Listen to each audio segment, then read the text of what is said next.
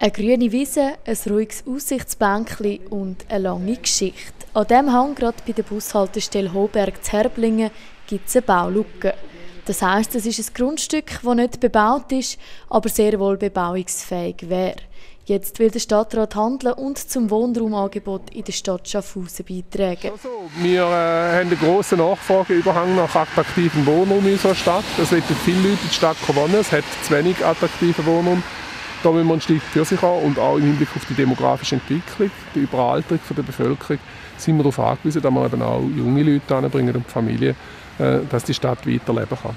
Mit dem Projekt Zukunft Stadtleben hat die Stadt Schaffhausen vor knapp vier Jahren eine Strategie entwickelt, um die Stagnation in der Bevölkerungsentwicklung zu überwinden. Wir stehen viel besser da als vor ein paar Jahren. Es sind seit dem Jahr 2010 namhafte private Projekte realisiert worden in den Aussenquartieren von Schaffhausen, wo uns einen rechten Schritt für sie gebracht haben. Trotzdem, es ist noch Handlungsbedarf. Wir müssen einfach schauen, dass wir bei Schaffhausen auch noch eine gewisse Entwicklung machen können. Dabei wird vor allem auf Qualität statt Quantität geschaut. Die Schaffhauser Wohnraumentwicklung soll vor allem ökonomisch, sozial und ökologisch nachhaltig sein. Der Hohberg ist in einer wichtigen Naturschutzzone und darum ist es auch der Stadt enorm wichtig, dass dort die Wiese und der Wald nicht verschwinden.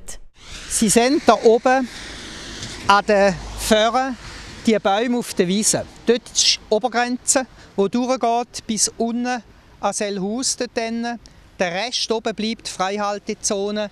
Der Rest bleibt grün und steht auch der Bevölkerung zur Verfügung.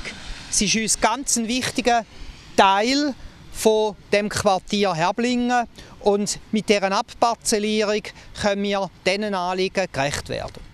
Weil es sich dabei um einen Baurechtsvertrag handelt, ist kein Referendum aus der Bevölkerung möglich. Trotzdem ist der Stadt Schaffhausen die Meinung der Bevölkerung wichtig. Eine Verdichtung ohne die Meinung der Bevölkerung, da gibt es einfach nicht.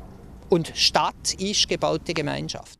Darum gibt es am 17. Januar eine sogenannte Zukunftskonferenz, wo vor allem interessierte Schaffhauserinnen und Schaffhauser zu Rückmeldungen und Gedankenanstößen zu der geplanten Wohnraumstrategie vom Stadtrat eingeladen werden.